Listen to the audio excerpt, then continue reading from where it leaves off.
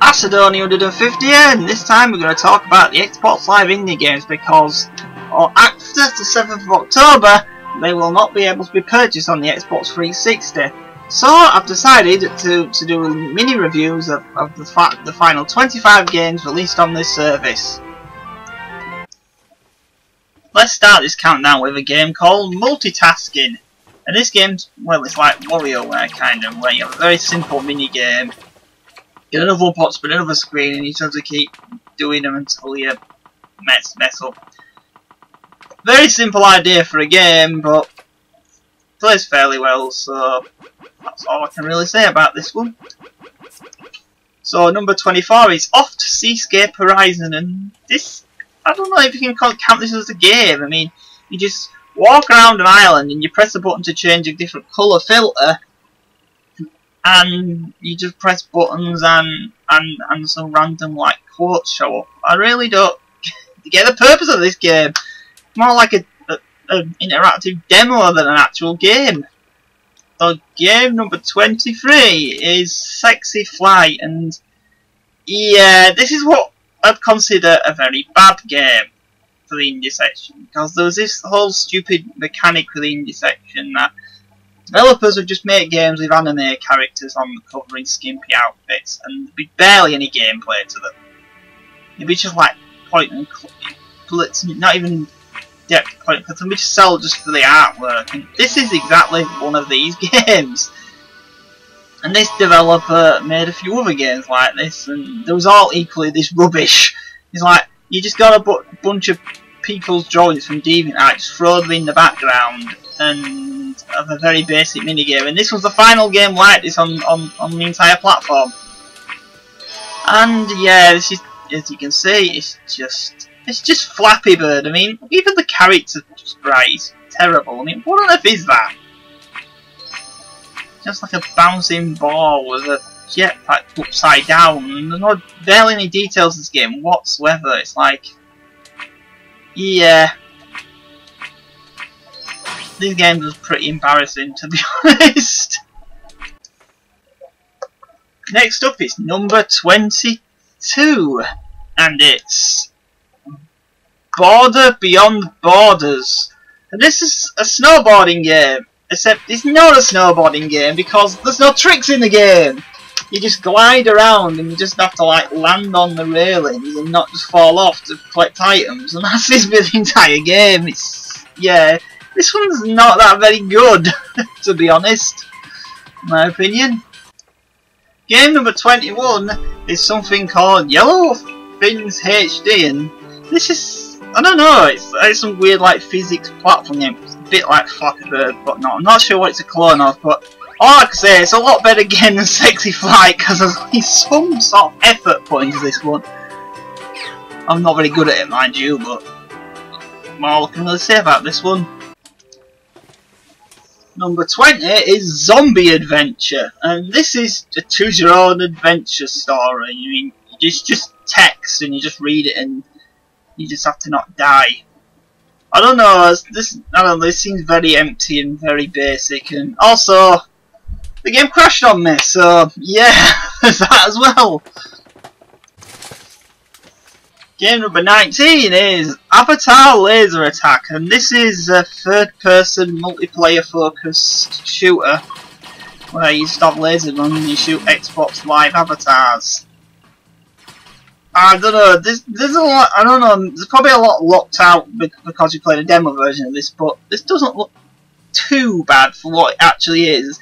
Though the AI single player is laughably easy to beat, so not a very good game you're playing by yourself. Which is probably going to be the case because I doubt that many people online ever played this. I'm afraid. Game number 18, Block Ops, and this is a, a Call of Duty zombies clone in 2D pretty much. Though, though it has lots of twin stick controls and you play as a stick figure shooting the zombies. It does have a multiplayer mode, though you can actually play single player as well, just against just against random zombies attacking you. This is kind of average. Game number 17 is confusingly enough called Chess Magic Power, which, which despite the fact it's clearly a space shooter, you jump around and you just shoot objects and there's lots of power-ups of range and all that madness. This doesn't actually look that bad as a game, but unfortunately the demo itself is kind of a bit on the short side. Game number 16 is Wizard's Rage, and this is another Avatar Avatar Xbox Live multiplayer focused game where you can play three different wizard classes of wizards with different abilities and spells. Unfortunately enough, the demo itself, and, and pretty much all Xbox Live indie games, didn't have a way to play online without you purchasing them. And and this game has no off no no box included, so essentially the single all what you're seeing here is is, all, is the only single player mode in a game, which is just you wandering around the, the empty empty arena with nothing to kill.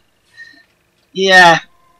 Unfortunately, I guarantee you, if you did spend money on this, probably all you'd have to bit to play anyway. Doubt there've been that many people playing it anymore. Game number 15 is Bubble Booster. This is a 100% complete rip-off of, of Taito's Bust-a-Move slash Puzzle Bobble series. The only difference between this one is some of the icons. Bubbles have different picture icons, the backgrounds are obviously different, the music's different. Probably the most different thing about it is the bubbles themselves are considerably larger than they are in the actual games it's based off. It's, that's all I can really say about this one. Game number 14 is Global Warfare, and this is a Call of Duty clone. You know, it's quite a lot of games, indie games on this service mimics Call of Duty. And it has some kind of multiplayer mode, which I couldn't obviously test out, and there's some AI mode, where you just where you have one life to shoot all these well, army men, obviously. It's pretty dull to be honest, I don't really think much of this one. Game number 13 is Geroneko, and this game has a completely nonsensical and insane story. You play as a cat on a, a razor shaving floating dogs so they don't land in a black hole. I believe this might have been the last Japanese developed game on the service, and well, it's very out there. On the plus side, I'd say it's much more fun than some of the previous games listed on this list. At least one actually has some kind of game to it. Alright, game number 12 is called Last Stand, and this is an indie version of the Call of Duty Zombies mode. I believe it might only be single player, but Actually, it's very slow. It takes way too long to get going this one, and the enemies start off lack of easy to, to kill, and it's not that entertaining. It's also not very scary either. I mean, it's yeah, it's very dull to be honest. Game number 11 is Dizeaze, Zombie Survival Horror. And yeah, this this has an online multiplayer mode, but when the trial couldn't figure out what to do in it, I mean, I was just walking around the forest and, you'd be walking like for about like 30 seconds, I mean nothing, there's suddenly some zombies that just spawn, then they're just constantly spawn until you run away from them. I need to find a hut, but I can never find a hut. I really don't know. This one's really not my kind of game. I'm not really into these zombie survival-like games. And we'll be noticed quite a few of these in, in, in the top 10 into the final 10 games ever released now in, in game number 9, 10 is Loot or Die 2. Now, I believe this was by the same developer as Block Ops, but this game is, in my opinion, considerably better game than Block Ops because it feels like an actual game there. The enemies to fight, you lots of collectibles. This one's actually okay, it actually functions well as a game. Number 9 is Death Quota R. And yeah, well, visually looking at this game, yeah, it's a complete shameless rip-off of Minecraft. Though the pixel art's a lot more detailed than Minecraft on the characters. Though this is actually, well, it's not really, it's, it's, it's, it's a multiplayer mode and all that. The single player, it's kind of like a survival mode. But you have to basically just collect all these objects, flying objects in the map, and constantly shoot at Terminators. and then, then, then get to the chopper! And then do another level. This surprisingly actually works fairly, fairly well as a game, this one. Don't know why it needs to look like Minecraft though. Number 8 is ESP to to ruin telekinesis time. Yeah, it's a very mouthful of a name, but it's kind of a space shooter game where you can where you can freeze time and move objects to change projectiles.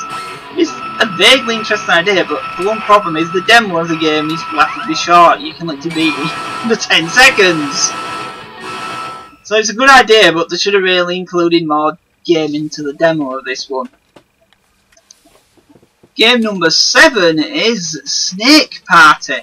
Now, if you like that old mobile phone game Snake, but it's been around years before Snake, it's only called Snafu, wasn't it? Well, yeah, anyway, this has got lots of modes in it. It's got up to, local up to four players at once, mission, a mission mode. This is probably the most content I've ever seen in a game based on the simple idea of Snake I've ever seen. So, if you're a really big fan of the game Snake, you probably really enjoy this one. Everyone else though, well, yeah, yeah try something different. Number six, we've got Avatar Eras Online, and this is another weird, like, M this is essentially a, an MMO for, for, for the system. It's really kind of odd, this one. I mean, it's got lots of, like, mechanics and all that, and technically you can play single player still, but this is not really a game you can play in a demo and really the clue what's going on because it don't have like a specific demo world to like tell you what to do. It just throws you in the game. Not really else to, say about this one. It's an online MMO that you can play offline. I doubt anyone, very few people ever played online.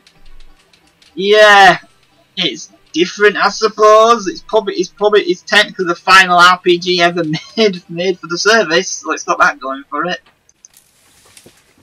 Number number number five, we've got Chasing Styx. Now this is a bullet hell game where you play as a dog with two floating heads. It has controls very similar to games like Kiki Kai Kai or Pocky Rocky as it's also known as. This one's actually pretty good. Also, like a lot of the games, this one's actually available on Steam and this one on Steam is is completely free. So I think you need a controller to play it, but this one this is actually by far out of all of the all of these top 25 listed, this is by far my favourite game of, of a lot of them, and one I'd recommend actually playing. Game number 4 is yet another Zombie Defense 2, and the title premise sums up it's a zombie defense game. You just defend an area from a bunch of zombies and keep upgrading yourself. You can use your Xbox Live avatar in the game, which, which essentially means it was the actual final game ever on the service use Xbox Live avatars. It's, uh, I don't know, I think this one's kind of a bit, uh, but it's, that's my opinion on it. So, game number three is survival game, Zombies. And this is a survival game which clearly is inspired by Minecraft. I mean, the character models literally just are like Minecraft. I mean, the characters, the sprites have a bit more effort put into them than Minecraft ones, just like the Death Quota R game for previously. Though this is not a game I could really get into. I have no clue what we're doing when was playing a demo of this game. Yeah, even beat beat a single zombie up nearly killed, nearly wiped me out. yeah, I mean, some people probably like this, but this is really not my kind of game. This is also the final Minecraft rip-off from the final zombie game ever on the service. So, game number two is Caroline's Important Life Diary. And this is some kind of bizarre pixel art game with lots of like really wonky voice acting and which is probably done by the people who worked on the game. I mean, it definitely doesn't sound that professional, that makes it kind of amusing some very bizarre things you do in it. It's like you avoid lasers and you on, there's not interactive endings and there's part of the game just run around spitting on people. It's like yeah, this one's very different. I give it that one. It's kind of a bit odd. And the final game ever released on the service is Solaroid's Prologue. So, with Prologue makes it sound like a demo and it's and it's a shooter game. It's not a very interesting shooter game. It's essentially just uh, an Asteroids clone. I don't know. It, I mean, I literally played it for a while and I literally didn't even nothing changed through the entire trial I played on this. No, none of the enemies improved. Not got any boss fights or anything. Just flying around shooting rocks. It was kind of dull, to be honest. It's kind of a shame this is the final game on the service, but this game is also available on Steam in early access, so if you want it there, you can get it there. It looks pretty much the same. So that was the final 25 games ever released on Xbox Live Indie Games area, or sometimes it's called Xbox Live Community Games, or XBLIG for short. And it's unfortunate lots of these games will are not available on any other system. Hopefully someday emulation will come around to save these being being restored and yes, a lot of these games was bad, but I still think just because the game's bad still does not mean it should be lost forever. Well anyway, thank you for watching this video.